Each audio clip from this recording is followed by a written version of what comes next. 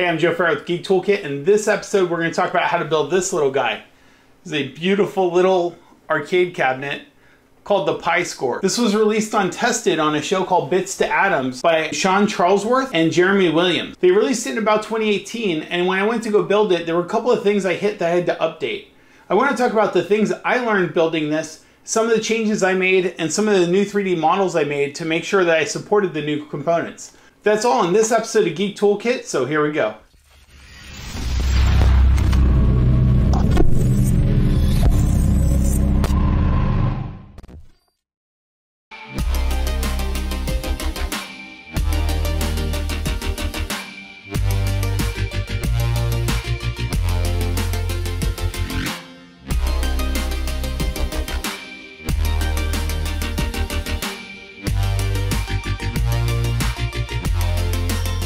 I have wanted a little miniature arcade cabinet since I was a kid. There was a version of this that was put out by Coleco. There was a Frogger and a Pac-Man, and actually a new re-release, Rainbow Brite and Robotron, I think just recent release, which I'm gonna probably have to go find.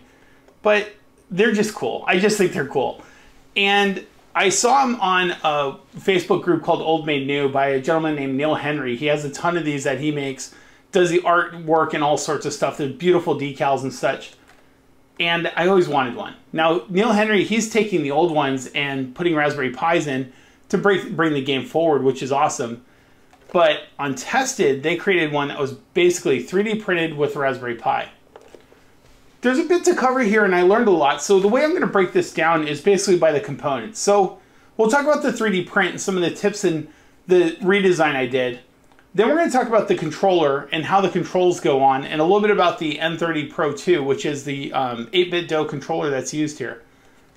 See, the thing is, if you haven't watched the, the tested video yet, what they did is they reproduced the controller sh shell into this front piece here, which is an absolutely beautiful way to do it because all of these buttons feel great. But there's some pro tips I learned after 3D printing it, so we'll talk about that. We're also going to talk about the display on this. This is a 5-inch LCD display, which I had to recreate the bezel. So I'll talk about how I did that and how the display goes on. We'll talk a little bit about the Raspberry Pi. I went down to a Raspberry Pi A+. I'll talk about why I did that and some of the benefits there. We're going to talk about the audio system, which was very impressive for me. The, the audio has stereo speakers on both sides. These are speaker grills on the side here. So it has speakers on both sides. And then we'll talk about the power system. So this is my on-off switch. And then uh, this is the charge port. It's got a battery system in here. I'm not sure how many hours it lasts yet. Absolutely amazing, amazing system. And we're going to get into it right now, starting with the 3D printing. This is all the parts splayed out. And what we'll do is we'll walk through all of the different things. We're going to start out with 3D printing. Um, and talk about the 3D printed parts and some of the tips to get them printed successfully some of the settings. Now there is a 3D print part sheet that talks about what should have supports, what shouldn't, and how to orient them, but I'll walk you through it really quick. This is what's called the hood. The hood can, it's by default prints on its back, but that requires a bigger printer. So if you have a smaller printer, you can print it like this.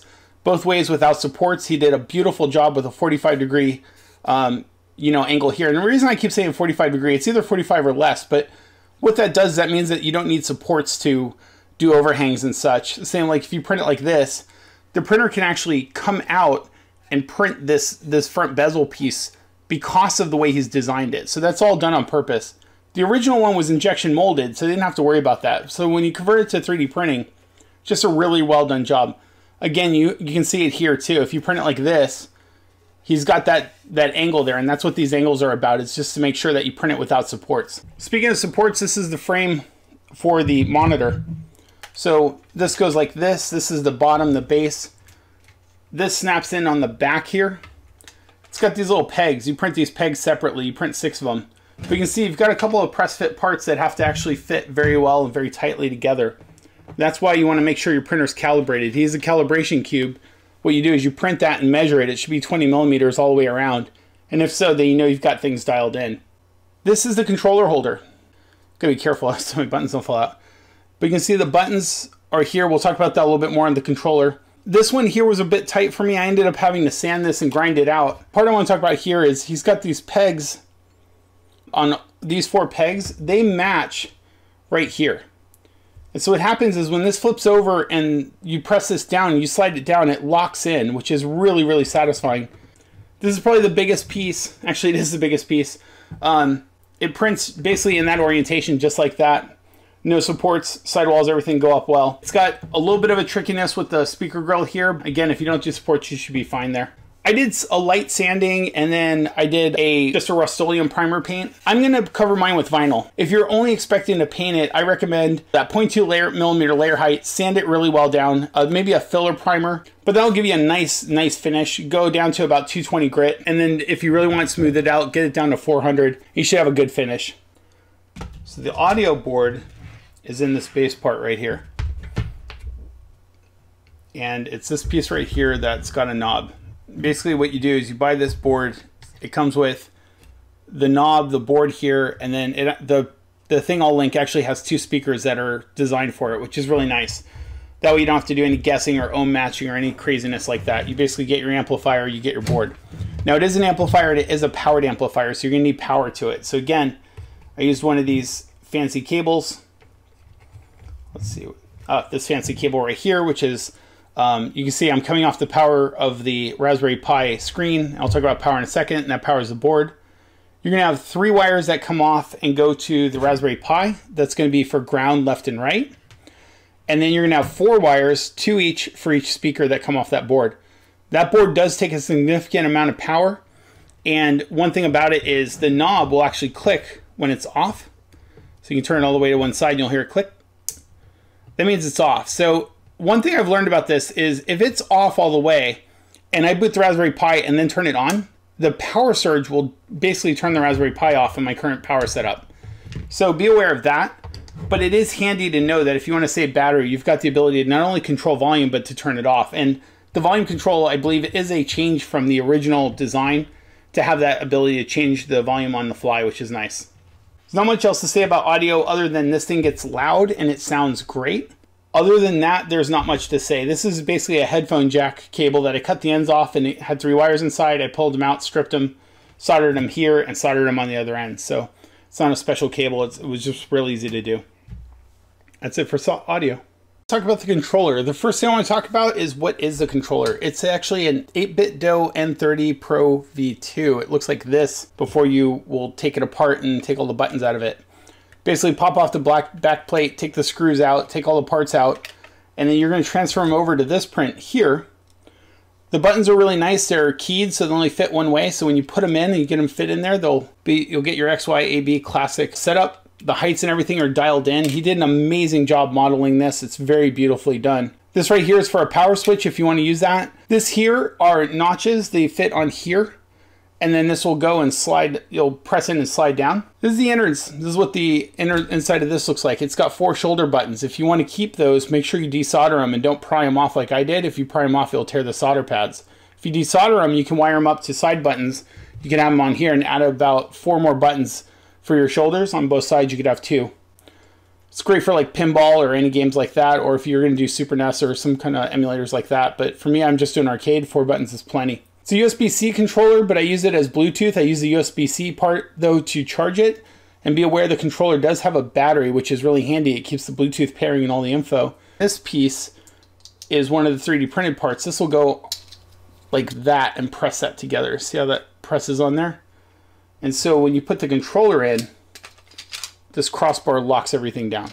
One note on the buttons, a pro tip when you're putting this all together is when you get this far, you start pressing the buttons down. They should just kind of go down and not grind. If you feel them grinding or if you feel them get stuck or if you, they press and stay in, then what you want to do is take the button out and grind it out. I use a, a little like mini Dremel thing like this. is a cheap Harbor Freight tool. It's like 10 bucks. It's been great. Use a full-size Dremel, whatever you need. Basically some kind of tool, even a knife, but basically you're going to want to carve the inner circle out to widen a little bit. His tolerances are just a little bit tight and it can get a little bit sticky. You never want a button to stick. So little pro tip for that there. One other pro tip that's super important, uh, and when I say pro tip, that means I screwed it up and I want you to not, is this is the Bluetooth pairing button. So when you get this all assembled, then I would build the rest of the cabinet, and then before you put this piece on, press that button when this is powered, and pair Bluetooth with whatever OS or whatever you got going on here. I used RetroPie. I went into the Bluetooth menu and paired it. Super important that you do that then because once this is on, there's no way to hit that button from inside. You see how it's it's not exposed up front anywhere. It's it's in the middle there. So be aware of the Bluetooth. All right, and that's it for controllers. This is my screen. This is a Waveshare 5-inch screen. It's got a breakout for your pins off your HD or off your Raspberry Pi. Your pins will go into here. And then it comes with this piece here, which is a low profile HDMI, basically replaces an HDMI cable. So it ends up being very low profile. It also places the, the Raspberry Pi right behind it like a backpack.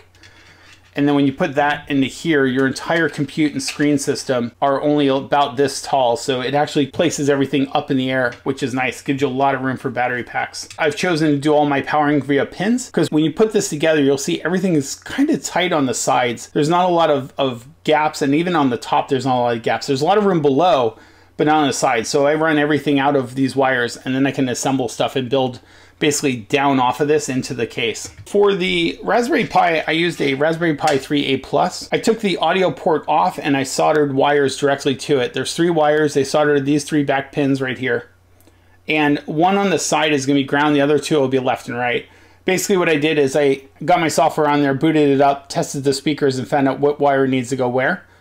But it really wasn't that hard. Once this is desoldered off, and for this one I actually took pliers and ripped it off and it ripped off clean took off a couple of parts and was good to go. The Raspberry Pi A Plus is significantly smaller than the B Plus. Here's what the B Plus looks like. It takes less power, it's got a little bit less memory. It's about half of the memory at one point. But the thing is, it runs everything I care about just fine, especially something I'm going to be putting on a portable.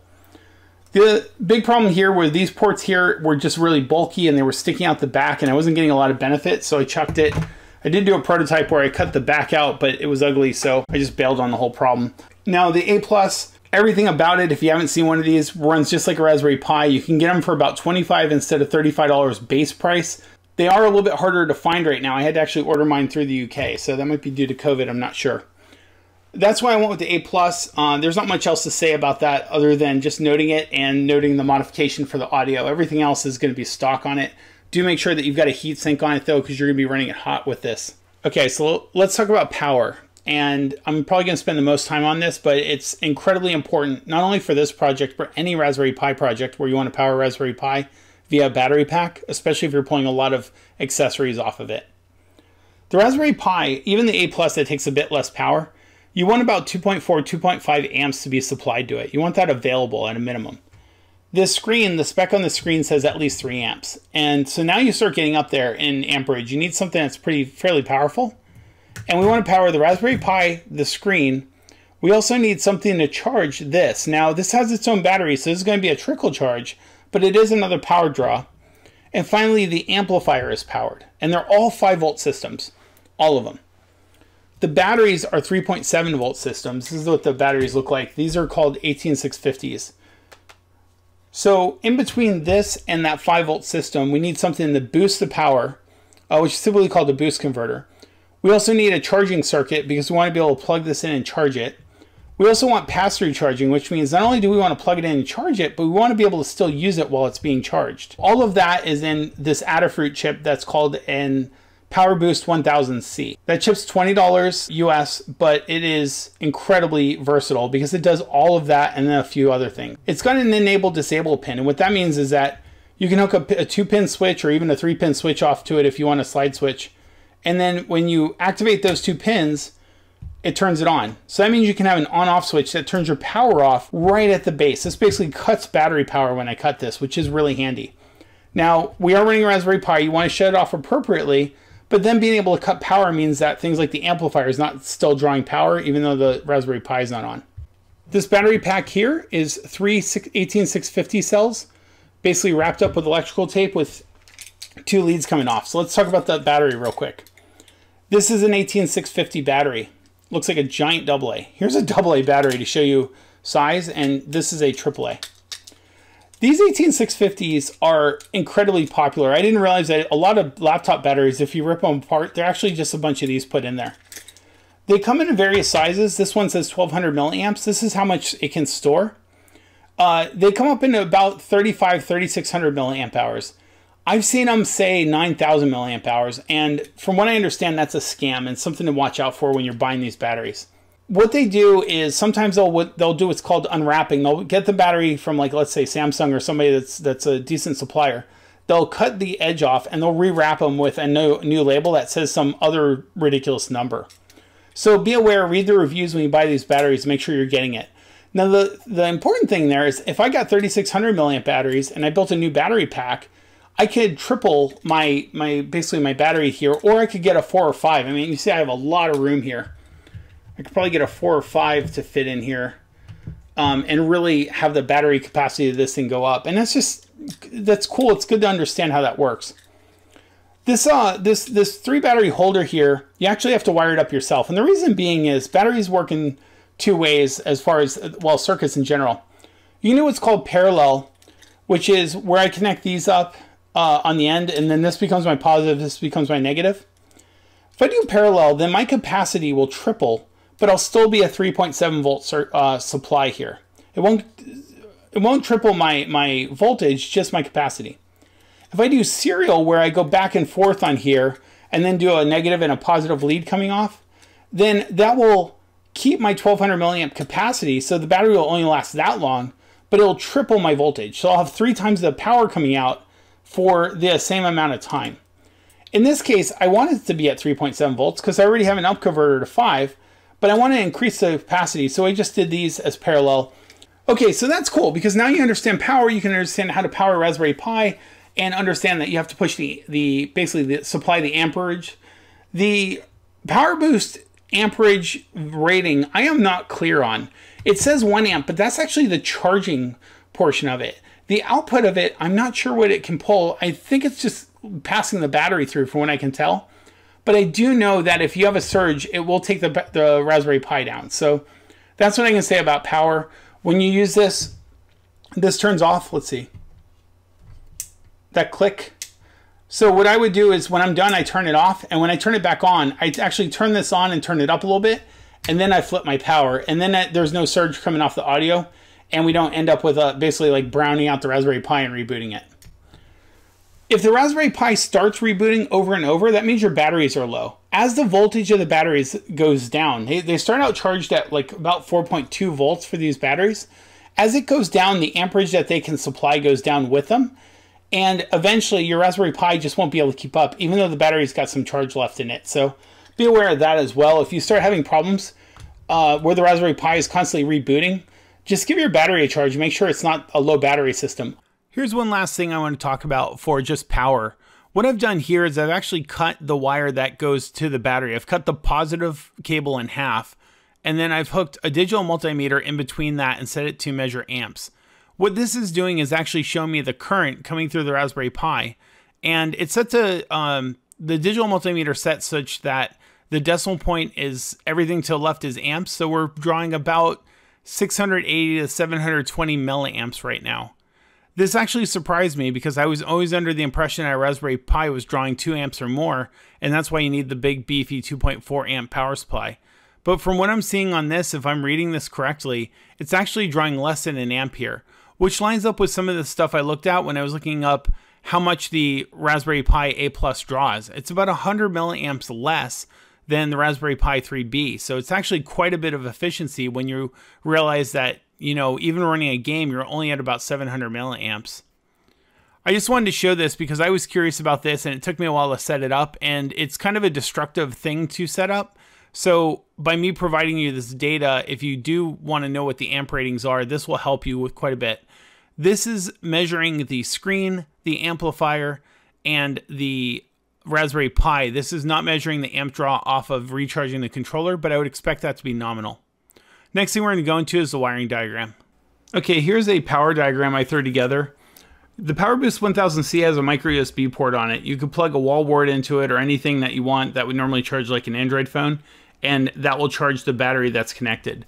The battery connects either via JST or a pin. For mine, I'm connected to the JST connector, which is this two pin connector right here. Coming off of this are two power cables that are powering the rest of the system. One goes up to the 8BitDo controller. It's actually a, a, power cable that goes into a micro USB, and then the micro USB goes into a USB B to C adapter, and that powers the 8BitDo. That keeps the battery on it charged. The 8BitDo controller communicates with the Pi over what Bluetooth for mine, so that saves me having to do any signal connection there. The other power cable goes into the Waveshare LCD display, and from the display we actually power everything else. So please notice there's nothing going into the Raspberry Pi from the power boost. It goes through the LCD display, and then the LCD display through the GPIO pins powers the Raspberry Pi.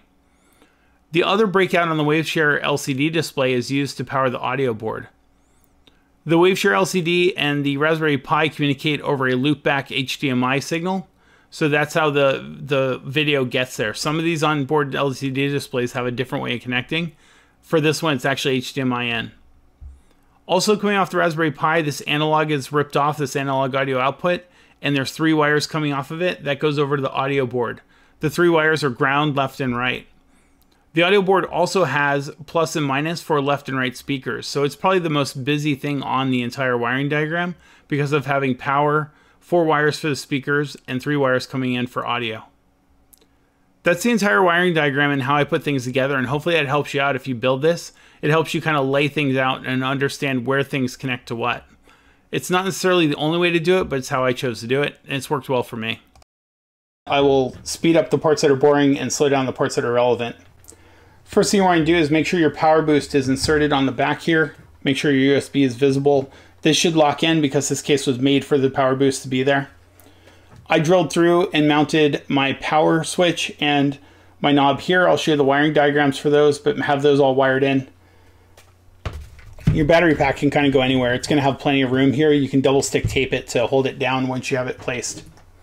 First thing we're going to do is work on the Raspberry Pi. Raspberry Pi, we're going to take it, flip it over, and line up the HDMI ports. Once you have those lined up, then you'll have an idea where your pins go. And then we're just going to insert the pins here take this right here and insert it here. This is going to be your HDMI wraparound. It's a very slick thing to have. Okay. This right here goes down. It goes, it goes towards the front, I should say. These legs go towards the back. So the way this works here is like that.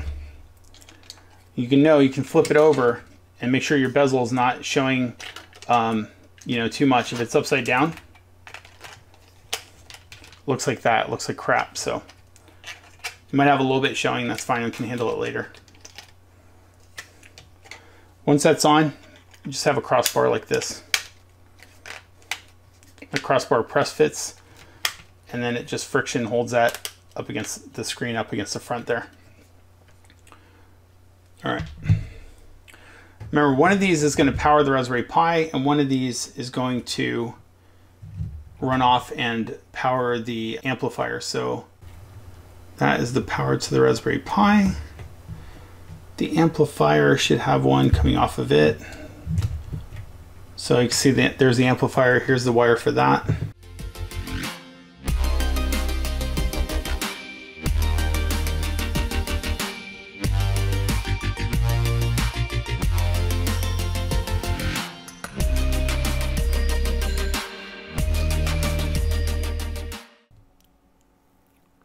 Thank you so much for watching this. I want to thank Sean Charlesworth and Jeremy Williams for putting this together because this project has just been, like I said, a dream of mine. And as you can see these gameplay videos, I am having a blast with this.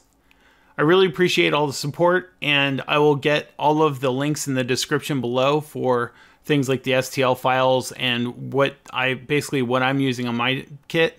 If you have any questions, please put them in below. And if you're looking to join a community and you're on Facebook, look for the 3D printed arcade community. That's basically where I'm at and sharing what I've learned and also where others have been teaching me how to put this together. I really appreciative of that community.